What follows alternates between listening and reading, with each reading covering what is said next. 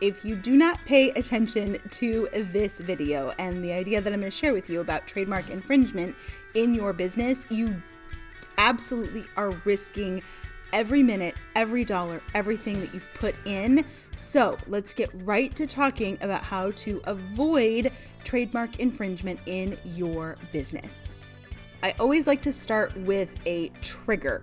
So, if you are naming your business, if you are naming a new program, naming your membership, buying up uh, domain names, grabbing social media handles, anything that you are choosing to use as a brand identifier, that is the trigger that you need to pay attention to this video now. Okay, if you've been around in my world for any amount of time, you know I am the queen of metaphors. I make them easy to remember, and avoiding trademark infringement is going to be my legendary four part system. All made up of S's because you know you got to do it that way. But more importantly, it is going to show you how to think like a lawyer when it comes to your branding. So, the first is silence keeping your mouth shut, search, we see what's going on, secure, and shout.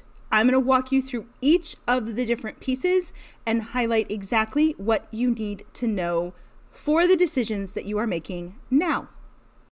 Okay, to get you thinking about the first step, which is silence, I want you to just think for a minute. In the past week, how many fellow entrepreneurs have you seen asking for advice about domain names, sharing what they should name their course, asking for input on what they should call their membership, anything along those lines.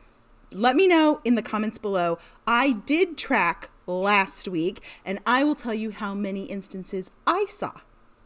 Okay, so silence is the first step, and this is incredibly important because when you have a brand new idea, when you're excited about something, the first thing you want to do, I know it, I get it, I'm one of you, is ask for opinions or ask for insight, or you've taken a webinar and someone says, you should ask your people. No, no, no, no, no, no, no. Not when it comes to branding your idea, protecting it, giving yourself the chance to protect your idea.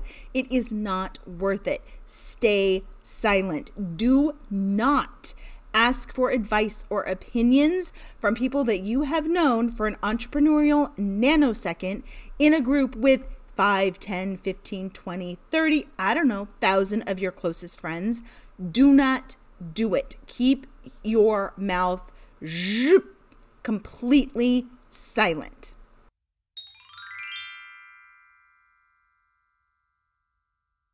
Okay, so this is the part where you are searching, you are looking for breadcrumbs. Now, there are a variety of ways that you can search.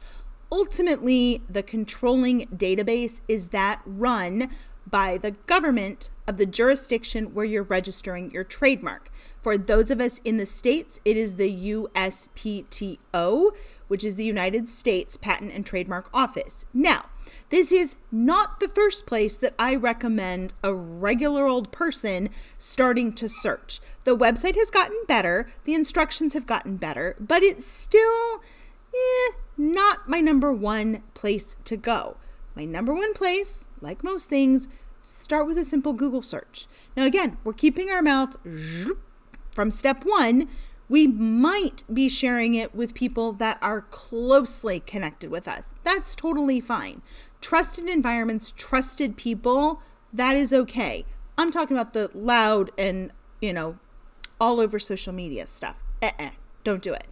As you are searching, though, you are going to be silently crawling around social media looking for instances of people that have the name or the idea that you're looking for. Now, when you're doing this, you need to be armed with all of the names that are similar, slightly connected, could be a different thesaurus word, And this is incredibly important because you can't just look for the exact name. You need to know what are similar words, what are basically the thesaurus words. Now, as you're doing the search, as you're going through avoiding infringement and all of that kind of stuff, you are welcome to scan the code for this video to unlock the bonus resources, which I have been making and talking about trademarks for decades at this point. So I know how important it is to search and more importantly to know where are we searching? Like, not just blanket, go search because, oh my goodness, where in the world do you start? But you need to be doing very specific searches in very specific locations. The searching, while I said yes, ultimately, the government for the jurisdiction where you're trying to register is the controlling decision.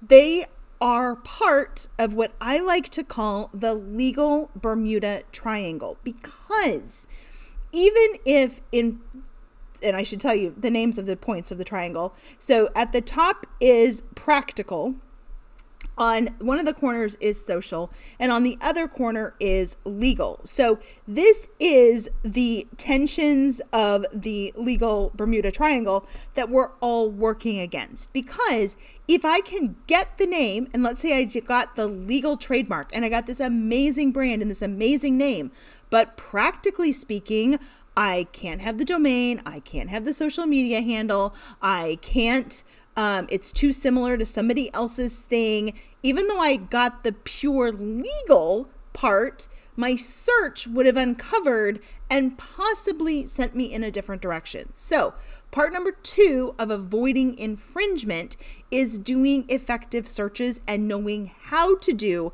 an effective search that is not just the legal end of life, but is the practical and the social parts that our business is our living and breathing and walking around with on a daily basis.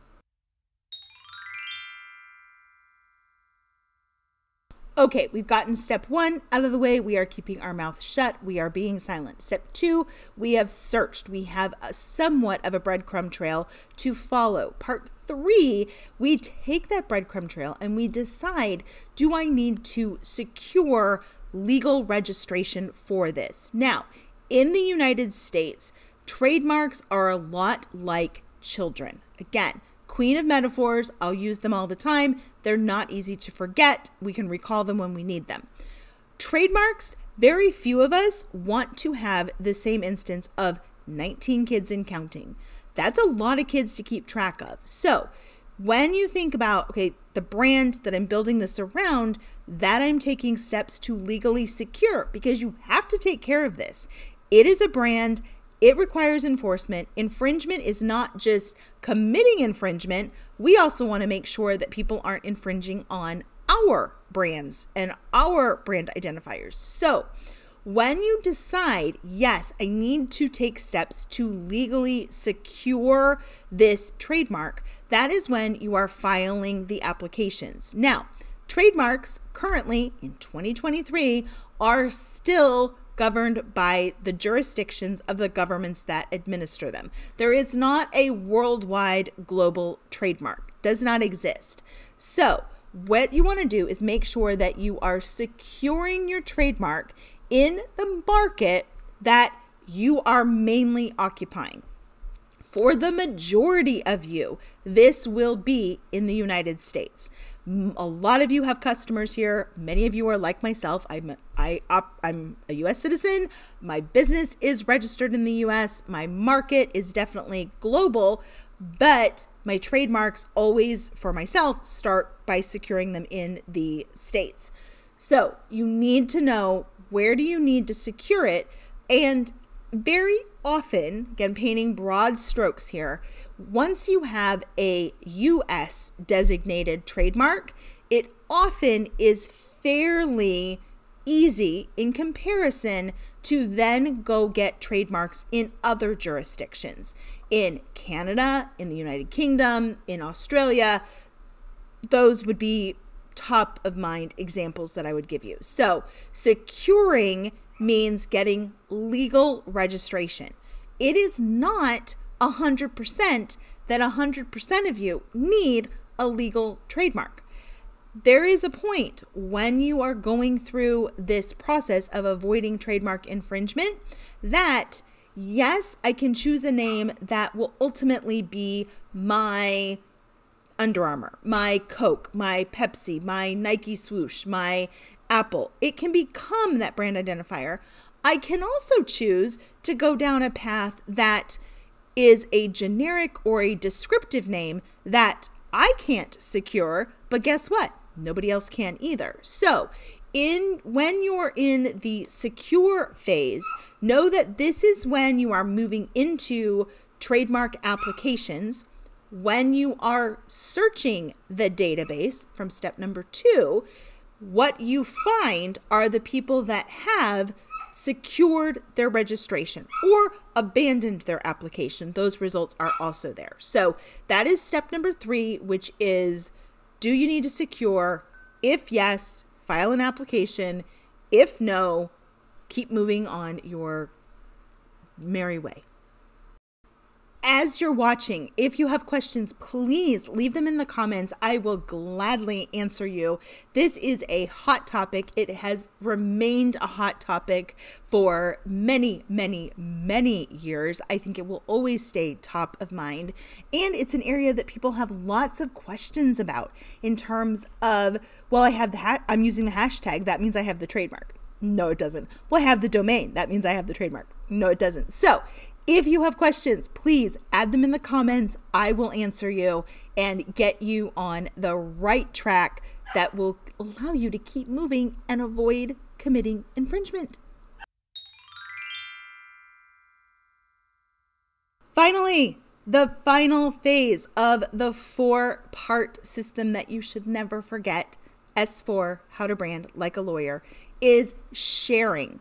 Okay, now that you've kept your mouth shut, while you were working on your idea, you searched to make sure that you could move forward with it. You saved yourself investing extra time, money, and effort by, oh, this is a great idea. Oh, I'm going to go with it. Oh, I'm going to hire the designer. Oh, crap. I now have to rip out every instance of it and pay some fines. No, no, no, not so much fun. And you have conclusively determined yes, you need to file the application, at which point you've done that, or you have a name that you can't register, but guess what? Nobody else can. So you don't need to get a trademark for the thing that you're working on. Now, that is when sharing comes into play. Now, you're standing on solid, like you're solid. You're not in mushy quicksand. You're not, eh, I kind of sort of think I can use this name, but I'm kind of sort of not 100% sure. You can use it. Guess what? You can share it. You can shout it from the rooftops.